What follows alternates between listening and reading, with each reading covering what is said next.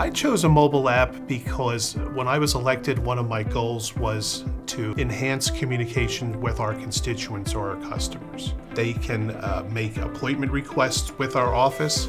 Somebody can use our app and send me a message directly, and I answer all my messages directly. It doesn't go to a secretary or anybody. People can just download it and they can find out our office hours, answers to basic questions, our, our filing fees. Our phone calls are dropping now because people are able to just download the app and find the answer to their question on the app.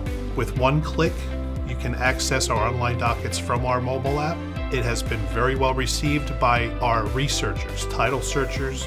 The one main feature that has received the best positive feedback from the community is our PFA feature protection from abuse. Protection from abuse victims, they are very transient sometimes. Some, some of them don't know where they're going to be living from one day to the other, but a lot of them still do have cell phones. So we built a lot of functionality into our app for PFA victims so that they have immediate resources. So if they can just download our app from OCV, they will see that they can have access to what they need to do to file a protection from abuse petition. Some of our uh, agencies that can help assist them if they're in a crisis, a real domestic crisis situation, which most of them are when they're filing a protection order. There's other resources, local and county, that they can also use. The OCV support team has been tremendous.